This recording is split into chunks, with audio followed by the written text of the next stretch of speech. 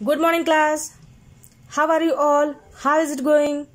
Welcome to our education platform in Mathematical Methods, Part 17th.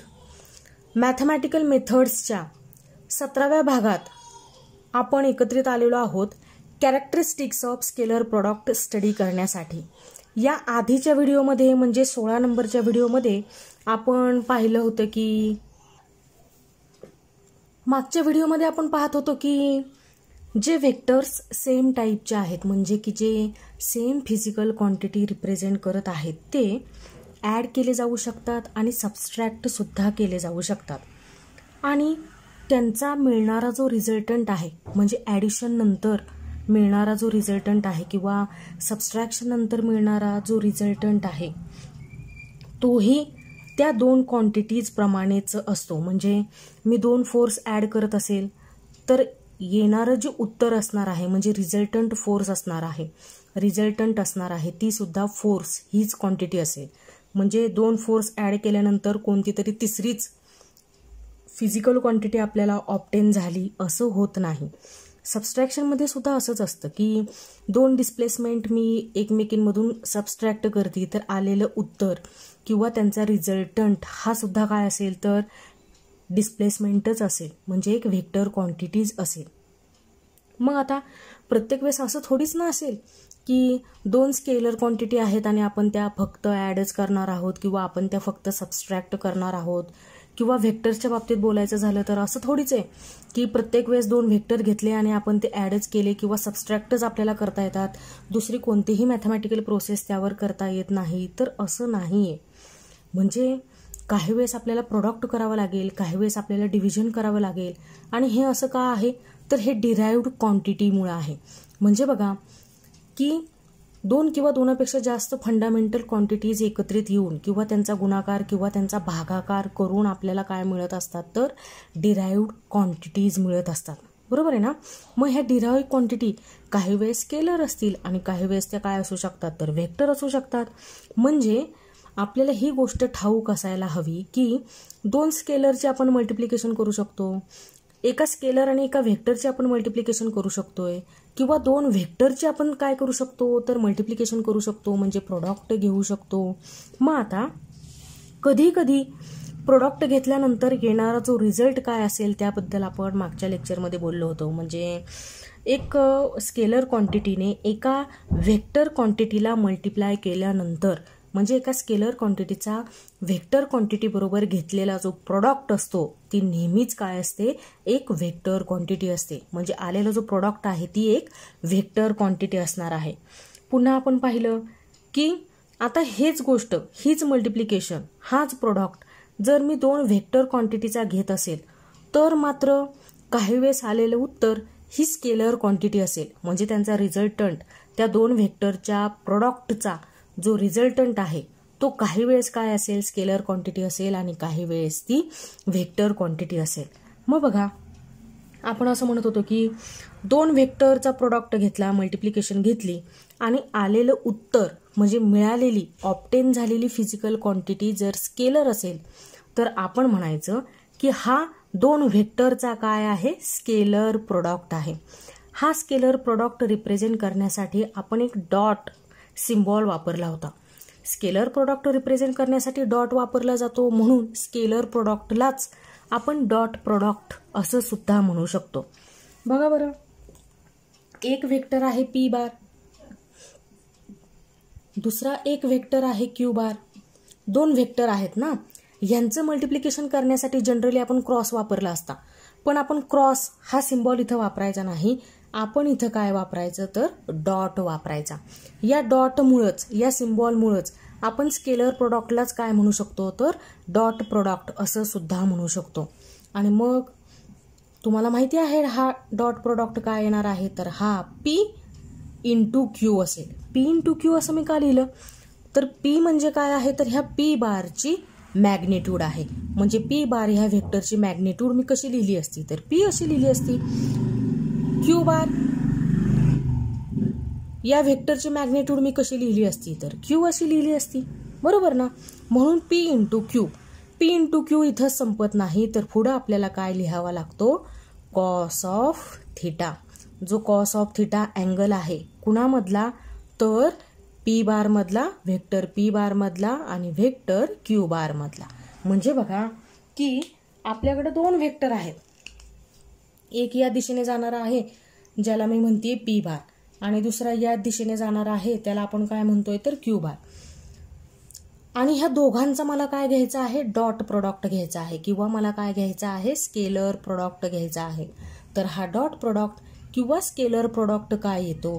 तर P bar dot Q bar is equal to P into Q P बारची magnitude P Q बारची magnitude Q आणि ह्या दोन व्हेक्टरमध्ये तयार झालेला जो अँगल आहे तो मी कसा लिहिला? तर कॉस ऑफ थिटा लिहिला.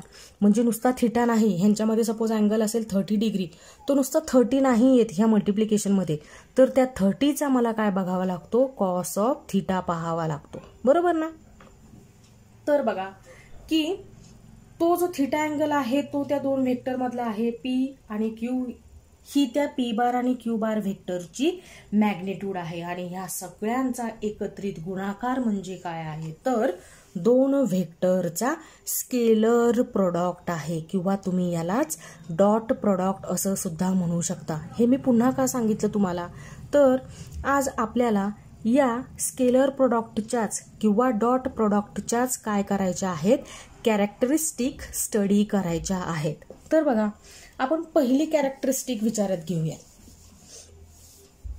बघा फर्स्ट कॅरेक्टरिस्टिक की तुम्हाला दिसतंय काय? कॅरेक्टरिस्टिक म्हणजे आपण ज्याला वैशिष्ट्य असं सुद्धा म्हणू शकतो की स्केलर प्रोडक्टचं काय वैशिष्ट्य आहे?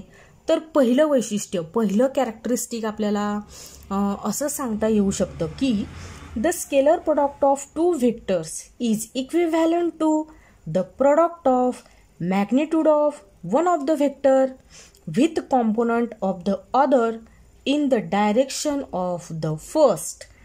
This gives the geometrical meaning of scalar product. बघा आपण काय म्हणतो इथं? तर स्केलर प्रोडक्ट कोणाचा घ्यायचा? तर दोन व्हेक्टरचा घ्यायचा. दोन व्हेक्टरचा स्केलर प्रोडक्ट म्हणजे काय असतो? किंवा हा कोणाला इक्विव्हॅलंट असतो? तर तुमच्या लक्षात येईल की हा प्रोडक्ट म्हणजे कोणाचा आहे? तर एका व्हेक्टरच्या मॅग्नेट्यूडचा दुसऱ्या व्हेक्टरच्या म्हणजे क्यू बारच्या एका कॉम्पोनंट बरोबर घेतलेला हा प्रोडक्ट आहे. बघा. पीचा या व्हेक्टर क्यू बारचा एक component Q cos of theta बरोबर घेतलेला हा काय आहे? तर प्रोडक्ट आहे. असं पण मी लिहू शकते बरोबर आहे ना? हा पी म्हणजे पहिल्या व्हेक्टरची काय झाले मॅग्नेट्यूड हा Q into cos of theta एकत्रित मिळून काय झाला? तर ह्या क्यू बारचा एक कॉम्पोनंट झाला. तुम्हाला रिझॉल्युशन ऑफ व्हेक्टर्स आठवतंय का? बघा एक व्हेक्टर आहे की ज्याला आपण दोन कॉम्पोनंटमध्ये रिझॉल्व करू शकतोय. एक कॉम्पोनंट तयार होतो सपोज ह्या क्यू बारचे कॉम्पोनंट मी तयार केले तर एक कॉम्पोनंट तयार होईल क्यू साईन थिटा आणि दुसरा कॉम्पोनंट तयार होईल क्यू कॉस ऑफ थिटा बरोबर आहे? मग मी त्या क्यू साईन थिटा आणि क्यू कॉस ऑफ थिटामधला घेतला क्यू कॉस थिटा कळतंय? की हा जो कॉम्पोनंट आहे क्यू कॉस थिटा कोणाच्या दिशेने जाणार होता? तर पहिल्या व्हेक्टरच्या दिशेने जाणारा होता. बरोबर आहे का? म्हणजे ज्यावेळेस तुम्ही म्हणताय की P Q cos of theta हा म्हणजे काय आहे? तर डॉट प्रॉडक्ट आहे. त्याच वेळेस मी असं सुद्धा म्हणू शकते की हा डॉट प्रॉडक्ट आहे. कोणाचा? तर एका व्हेक्टरच्या मॅग्नेट्यूडचा दुसऱ्या व्हेक्टरच्या एका कॉम्पोनंट बरोबर घेतलेला. की जो कॉम्पोनंट कोणाच्या दिशेने ट्रॅव्हल होत होता तर फर्स्ट व्हेक्टरच्या दिशेने ट्रॅव्हल होत होता. म्हणजे व्हेक्टर पीच्या दिशेने तो ट्रॅव्हल होत होता. आलाय का तुमच्या लक्षात? मी काय म्हणते ते? मग बघा. हे जर तुम्हाला अजून चांगलं एक्सप्लेन करून पाहिजे असेल तर तुम्हाला ह्या डायग्रॅमकडं लक्ष द्यावं लागेल. बघा. मी अजून असं म्हणते की हा पी आहे आणि हा क्यू कॉस ऑफ थिटा म्हणजे काय आहे तर कॉम्पोनंट कोणाचा? Of vector Q bar. कोणाच्या दिशेने जाणारा? इन द डायरेक्शन ऑफ सांगा बरं पी बार. ठीक आहे? हा Q cos of theta Q बारचा काय आहे? कॉम्पोनंट आहे. आणि कोणाच्या दिशेने जाणारा आहे तर पी बारच्या दिशेने जाणारा आहे. आलंय का लक्षात? आता बघा बरं. तुम्हाला सांगते मी अजून. इथं बघा. आपण पहिलंच कॅरेक्टरिस्टिक पाहतोय. बरं का? हे पहा.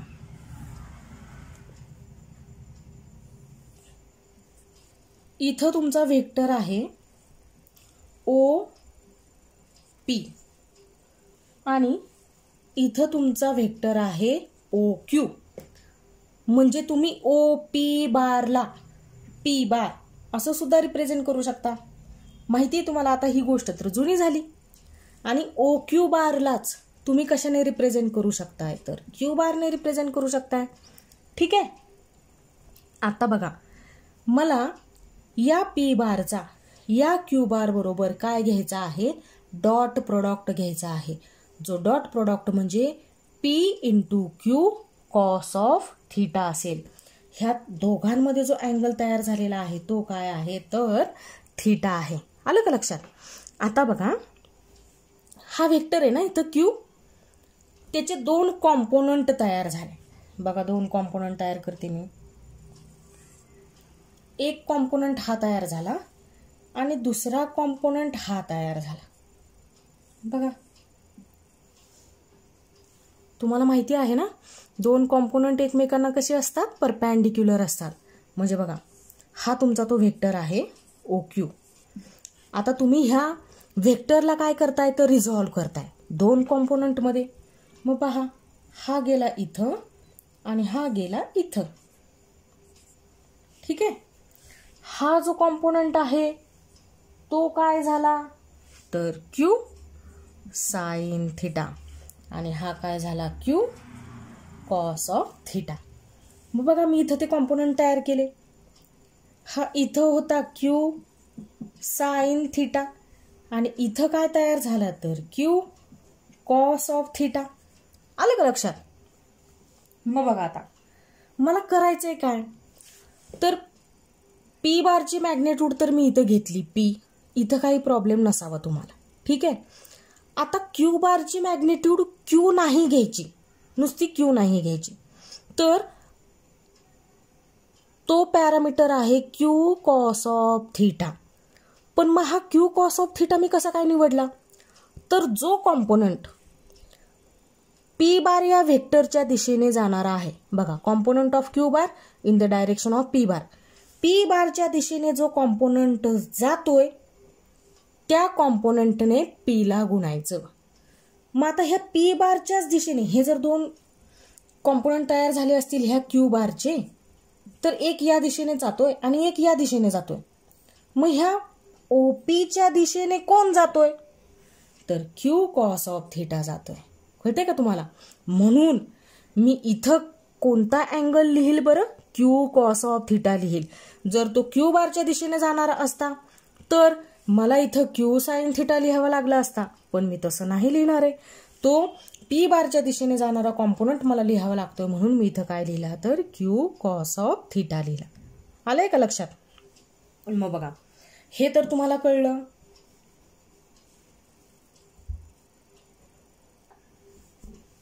आता हाच स्केलर प्रोडक्ट जो मी P bar dot Q bar असा लिहिला. तो मी असाही लिहू शकेल ना?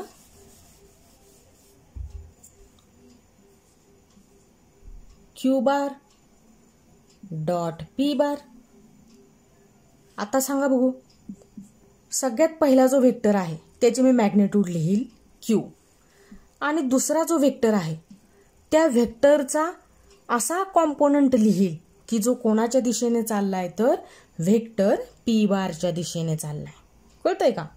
म्हणजे component of P bar in the direction of Q bar इथं Q bar dot P bar is equal to इथं मी लिहील पहिला व्हेक्टर जसा मी इथं पी लिहिला पी लिहिला पी लिहिला तसाच मी इथं काय लिहिल तर क्यू लिहिल. आणि दुसऱ्या व्हेक्टरसाठी मी काय लिहिल तर P into cos of theta बरोबर आहे ना? किंवा मग तुम्ही असं सुद्धा लिहू शकता. Q P cos of theta पण कॅरेक्टरिस्टिक काय सांगतं? हा Q into P cos of theta म्हणजेच काय आहे तर Q into component of P bar which is in the direction of Q bar की जो आहे? पी कॉस ऑफ़ थिटा मग एक तर तुम्ही Q into P cos of theta लिहा किंवा कॅरेक्टरिस्टिकच्या अकॉर्डिंगली तुम्ही Q into P into cos of theta लिहा. काही एक फरक पडणार नाही. ठीक आहे? मी इथे लिहिते बघा. क्यू इंटू कॉम्पोनंट ऑफ कोणाचा कॉम्पोनंट असेल? पी बारचा कोणाच्या दिशेने गेलेला? Component of P bar in direction of Q bar बरोबर ना? बघा बरं. आता बघा. हा तो पी बार व्हेक्टर आहे. हे जुनं आपण पुसून टाकूयात.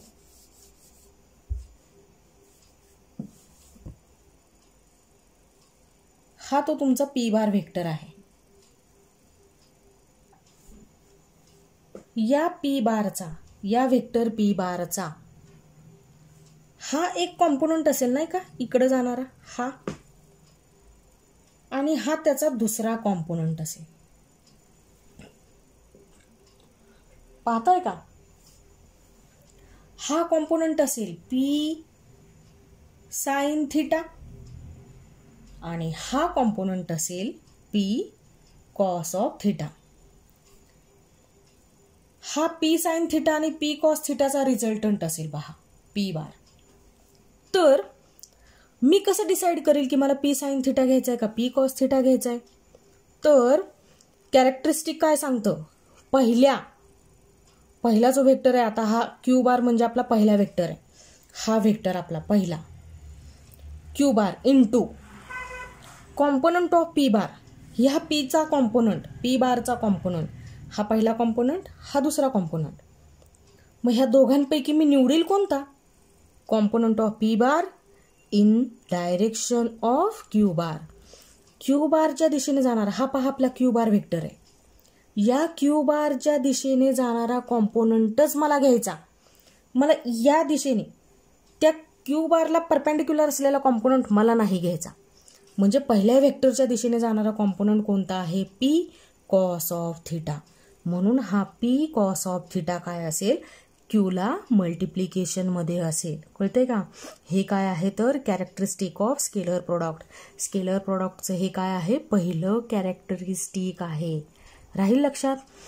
इतर वेळेस एक्झाम्पल्स सॉल्व करत असताना किंवा दुसऱ्या काही मॅथमॅटिकल प्रोसेस आहेत थेरॉटिकल प्रूफ मिळवत असताना एवढं लक्षात ठेवलं तरी सफिशियंट आहे. P bar dot Q bar is equal to P Q cos of theta हे तुम्हाला माहीत असणं गरजेचं आहे. कारण ही त्या स्केलर प्रोडक्टची काय आहे? कॅरेक्टरिस्टिक आहे. किंवा मग उलट दिलं गेलं. Q bar dot P bar तर पहिला व्हेक्टर इथं लिहायचा आणि दुसरा व्हेक्टर की जो पहिल्या व्हेक्टरच्या दिशेने ट्रॅव्हल होतोय त्याचा काय लिहायचा? कॉम्पोनंट लिहायचा की जो साईन थिटा मुळीच नाही तो काय आहे? पी कॉस ऑफ थिटा राहील लक्षात? जायचं पुढं. आता पाहूयात दुसरी कॅरेक्टरिस्टिक पहा दुसरी कॅरेक्टरिस्टिक सांगायची झाली तर मी अशी सांगू शकते की the scalar product obeys the commutative law of vector multiplication vector मल्टिप्लिकेशनचा commutative law obey केला जातो. कुणाकडून? स्केलर प्रोडक्ट ऑफ व्हेक्टर्सकडून. ठीक आहे? म्हणजे मला म्हणायचं आहे काय? तर बघा. पी बार डॉट प्रोडक्ट किंवा scalar product. Q bar is equal to काय असतो? P into Q cos of theta. P म्हणजे पी बारचे मॅग्नेट्यूड क्यू म्हणजे क्यू बार या व्हेक्टरचे magnitude and theta be the angle between P bar and q bar. That is theta be the angle between two vectors नुसता इथं theta घ्यायचा नाही त्यांचा काय घ्यायचा? तो कोसाइन ऑफ थिटा घ्यायचा. ठीक आहे? हेच जर मी उलट लिहित असेल तर? Q bar dot P bar आत्ताच पाहिलं आपण. तर मी काय लिहिलं असतं बरं? क्यू आधी मी क्यू लिहिला असता नंतर मी क्यू बारच्या दिशेने जाणारा कॉम्पोनंट लिहिला असता. पी बारचा कॉम्पोनंट लिहिला असता. काय बरं लिहिला असता? तर पी कॉस ऑफ थिटा ठीक आहे? इथं बघा. थिटा ह्या दोघांमधला अँगल आहे. हा आहे पी बार हा काय आहे क्यू बार या दोघांमधला अँगल काय आहे? तर थिटा आहे. मग बघा. मी आधी पीची मॅग्नेट्यूड लिहिली नंतर क्यूची मॅग्नेट्यूड घेतली आणि नंतर त्यांच्यामधला कोसाईन ऑफ अँगल मी लिहिते थिटा त्याच्यानंतर आधी मी क्यूची मॅग्नेट्यूड घेतली नंतर मी पीची मॅग्नेट्यूड घेतली मग पुन्हा मी त्यांच्यामधला अँगल घेते थिटा मग हा थिटा अँगल मी ह्या क्यू बारपासून पी बारकडे मोजला काय? किंवा पी बारपासून क्यू बारकडे मोजला काय? जर तो थर्टी डिग्री असणार आहे तर तो पी बारपासून क्यू बारपर्यंत सुद्धा थर्टी डिग्रीच असेल आणि क्यू बारपासून पी बारपर्यंत सुद्धा तो थर्टी डिग्रीच असणार आहे. आलंय का लक्षात? मला काय म्हणायचं ते? म्हणजे इथं दोघांची मॅग्नेट्यूड. आता इथं सपोज असेल थ्री आणि इथं असेल टू तर थ्री टू जा सिक्स इथं असेल टू इथं असेल थ्री टू थ्री जा ऑल्सो सिक्स मग या दोघांचे मॅग्नेट्यूड सिक्स आहे या दोघांचे मॅग्नेट्यूड पण सिक्स आहे. जर थर्टी अँगल असेल तर कॉस थर्टीची किंमत पण एकसारखी असणार आहे इथं आणि इथं सुद्धा कॉस थर्टी एकसारखंच असणार आहे. बरोबर आहे ना? म्हणजे नाही मॅग्नेट्यूड चेंज होते नाही मॅग्नेट्यूड चेंज होते. जरी व्हेक्टर्स पुढे मागे होत असतील तरी सुद्धा याचा अर्थ काय आहे? तर पी बार याचा अर्थ असा आहे P bar dot Q bar is equal to Q bar dot P bar म्हणजे तुम्ही आधी कोणता व्हेक्टर घेताय आणि नंतर कोणत्या व्हेक्टर बरोबर त्याचा डॉट प्रोडक्ट घेताय? ते मॅटर करत नाही. म्हणजे याचा अर्थ काय आहे? तर scalar product obeys the commutative law of vector multiplication हे यातून काय होतं? तर प्रूव्ह होतं. ठीक आहे? टोटल मला सहा कॅरेक्टरिस्टिक तुम्हाला शिकवायच्या होत्या. स्केलर प्रोडक्ट ऑफ टू व्हेक्टरसाठीच्या उरलेल्या ज्या चार आहेत त्या आपण नेक्स्ट व्हिडिओमध्ये पाहूया. व्हिडिओची लेंथ जर वाढली तर मला माहीत आहे की तो व्हिडिओ पाहणं तुम्हाला कंटाळवानं होतं. म्हणून हा व्हिडिओ आपण इथंच स्टॉप करतोय आणि भेटूयात आपल्या पुढच्या व्हिडिओमध्ये म्हणजे अठरा नंबरच्या व्हिडिओमध्ये ह्याच शिल्लक राहिलेल्या कॅरेक्टरिस्टिक आपण त्या व्हिडिओमध्ये कंटिन्यू करूयात. ठीक आहे? तोपर्यंत टेक केअर बाय